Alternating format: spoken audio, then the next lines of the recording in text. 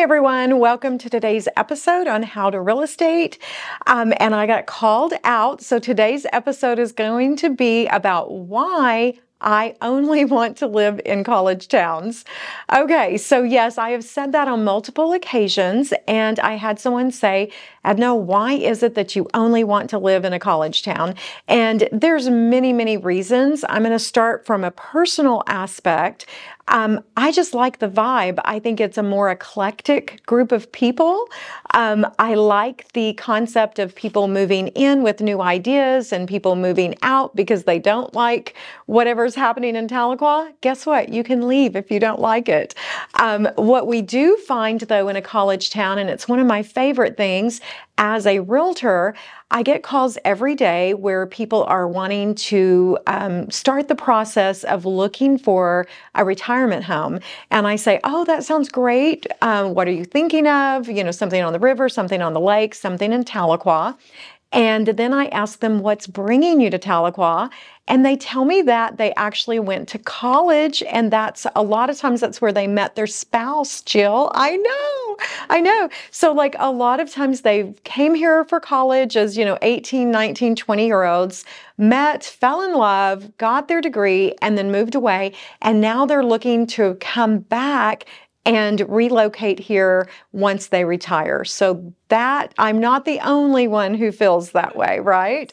Um, so that is one of my favorite things. So it's it's this constant, almost influx of new ideas and new people, and that brings in new industry, new restaurants, just kind of a whole new vibe of everything. But from a real estate perspective, it's really great for the community. When you have people moving into Tahlequah for that four year time frame, four to five years. I think it takes five years now to get a degree, or so I've been told. Yeah, yeah. Um, then it's really good for a small town. And the reason is these individuals have to have housing. Um, yes, the college does provide some housing, but it doesn't work for everyone. Um, and frankly, everyone um, doesn't qualify and just would not be comfortable living in the dorm in some circumstances. A lot of times you have young adults with families, or um, they have a pet, or they want to live in an apartment, or whatever. So it's very good for our economy to have these students moving into Tahlequah and renting properties for anywhere from two to five years. Um, two years, you know, if they leave a little earlier than they thought, five years if it takes a little longer. So um, I personally do own rentals, and it's been very, very good for for the rental industry across the board. Now, yes, it does drive the prices up. Jill knows that, right? It does make finding a rental a little harder. And something that I'm going to go down a rabbit hole here, but something that you want to keep in mind with Tahlequah is that June, July, and August are very hectic months for finding housing because people, we do have an influx of students, um, new professors coming in, residents coming in for the OSU Medical Center, and then also students coming in for the optometry school. So those tend to be a little bit older, a little bit more mature students with even families. And so they're looking to rent nicer homes or larger homes. So if you happen to be thinking about moving to Tahlequah and currently you're thinking of purchasing or renting, you don't want to wait until August um, when school is starting to roll in and try to find housing it gets a little a little uh, slim for that. Now, if you're thinking about moving to Tahlequah and you don't have to be here by August, my recommendation is to go ahead and wait until the mid mid September or end of September when things kind of settle down. And then from September through about February, we do have more housing options. And, um, and typically you can even get a little bit better deal as opposed to trying to secure your housing in June, July, or August. So keep that in mind.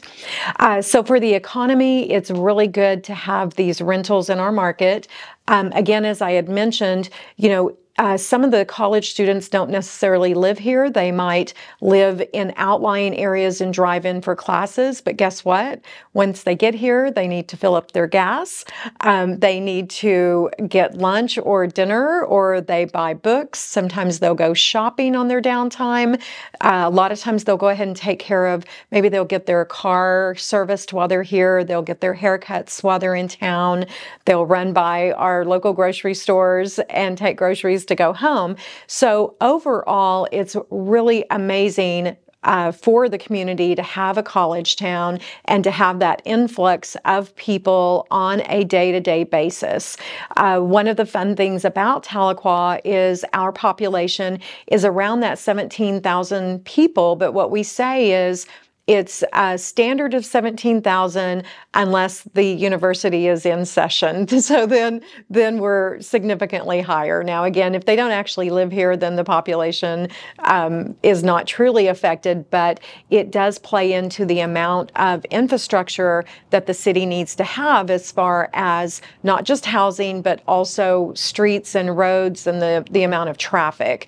Um, and I know a lot of you constantly are frustrated with the amount of road work and road closures. But guys, growth is something that is really important for a town and keeping the infrastructure moving forward and not waiting until it's so out of date um, and then you have all kinds of other problems. So I think that the city is doing just an amazing job of trying to stay ahead of that as much as possible. And I've never seen anyone do it perfectly. So give them some grace. And if if I am behind you and I'm frustrated, remind me to give you grace uh, because yes, I'm always running a little late to my next appointment. So, um, so for the economy, it's amazing to live in a college town.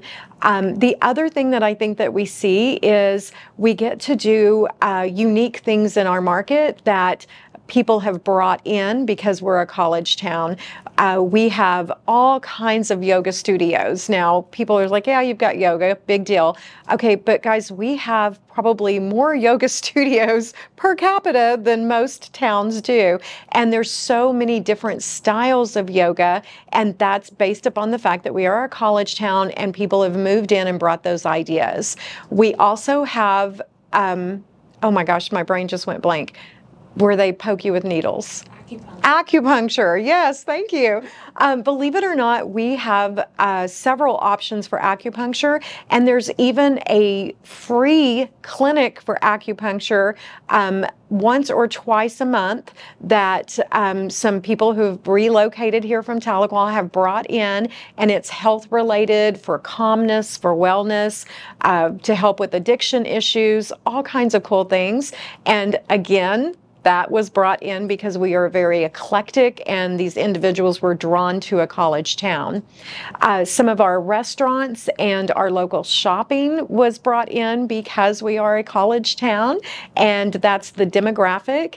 And then we also have some really fun bars and eateries that are not necessarily geared only toward the college individuals, but um, are, are seeing growth because of the college town and the college mentality.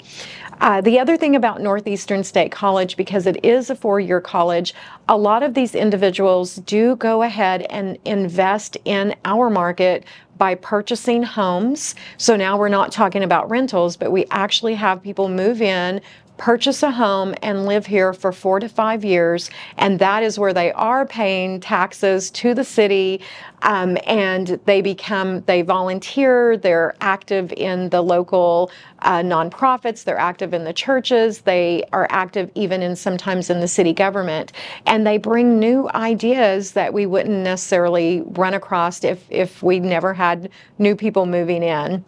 So, living in a college town, um, I think eclectic is the best way to describe it. It's a different vibe. I understand that it's not for everyone, but that those are a few of the reasons why I would only consider living in a college town from this point on. So I hope that helps.